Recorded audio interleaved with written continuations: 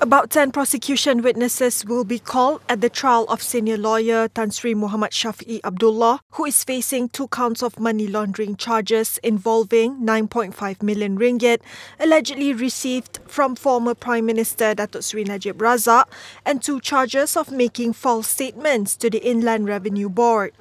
Deputy Public Prosecutor Afzainizam Abdul Aziz informed Judge Datuk Muhammad Jamil Hussin during the case management on Friday.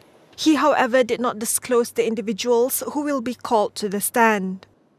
Meanwhile, Shafee's counsel, Sarah Abishegam, told the court that the trial dates for the case could be set after the disposal of two of her client's applications to challenge the appointment of former federal court judge Datuk Seri Gopal Sri Ram. The applications were currently in the appeal stage. She also said her client was currently handling the 1MDB case. The court then set 10 days for the trial starting May 7 until August 6 next year.